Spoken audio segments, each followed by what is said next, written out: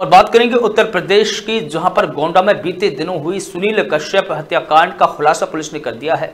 Police ने बताया है कि हत्या में शामिल मृतक युवक की ममेरी भाभी, पूनम और उसके देवर आशीष को गिरफ़्तार कर लिया है। वहीं एक अन्य आरोपी की तलाश लगातार जारी है। जानकारी के अनुसार मृतक सुनील और पूनम के बीच में प्रेम प्रसंग का मामला चल रहा था, लेकिन कहीं बदनामी ना हो जाए, इसके लिए पूनम सुनील से पीछा छुड़ाना चाहती थी, लेकिन सुनील इस बात के लिए राज़ी नहीं था।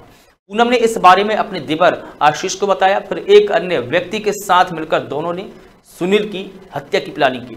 उन्होंने सुनील को घर पर बुलाया और गला घोंटकर उसकी हत्या कर दी।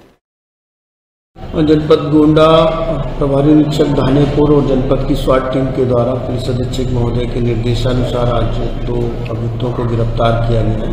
इसमें एक का आशीष है और उसकी भाभी पूनम है।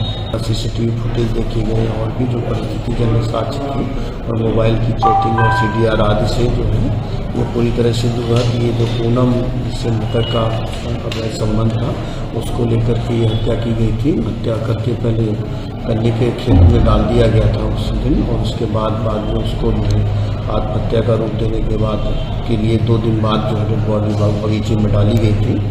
इनके द्वारा गिरफ़्तार अभियुक्तों के द्वारा जो है अपराध की संस्कृति की गई है। इसमें